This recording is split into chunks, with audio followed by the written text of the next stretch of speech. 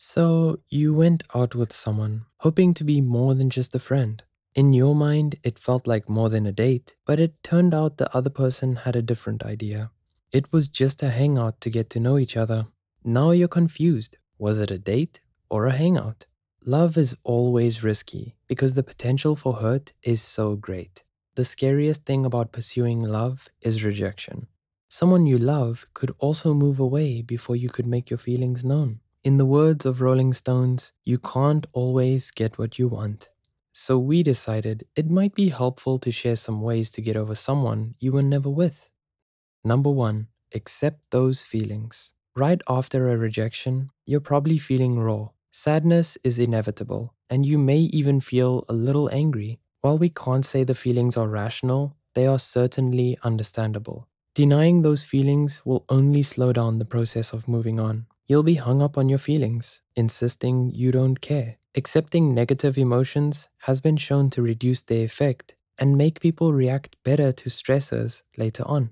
It's okay to care. It's okay to feel hurt.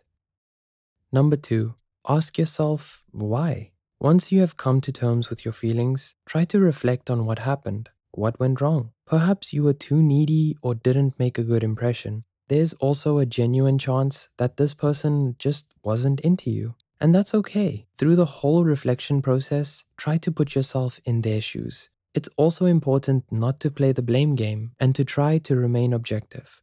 At this point, it isn't about who was right or who was wrong. Remember, the goal is moving on with a better understanding of how you approach your passionate feelings and relationships. Number three, repair your self esteem.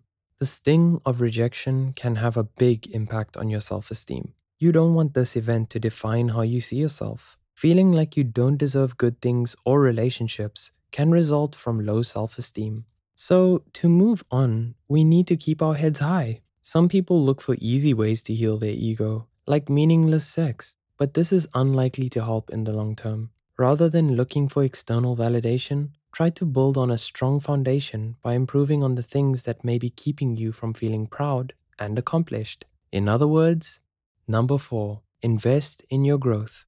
This sounds like business lingo, but it doesn't necessarily have to do with money or career. You could use this time to improve your career as being single means you don't have an extra person to consider when making career decisions, but it can also mean becoming proficient in your hobbies and the things you enjoy.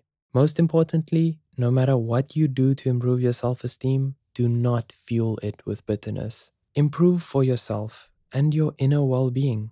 Make sure that the decisions you make are about being happy and about genuinely improving and growing as a person. Number five, Make some boundaries.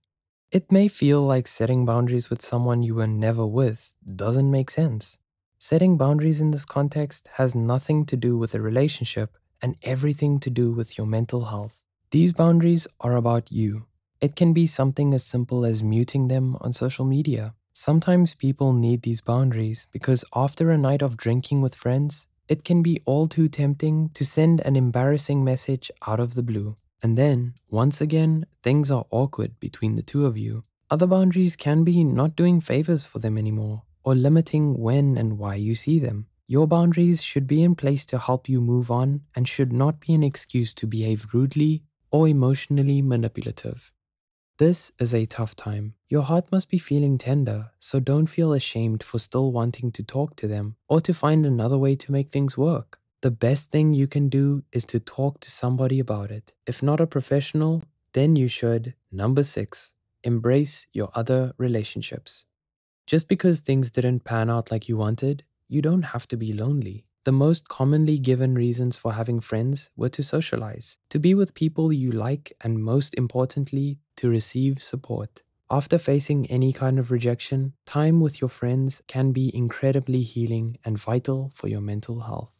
Getting over someone is not easy. Those butterflies in your stomach won't want to leave. Those warm, fuzzy feelings are hard to let go. Don't give up. To quote the Rolling Stones one more time, if you try sometimes, you just might find you get what you need. Moving on can only help you. What you need could be just around the corner. If you found today's video helpful, leave a like on the video. For more psychology facts, subscribe to Psych2Go and we'll see you next time. You've got this.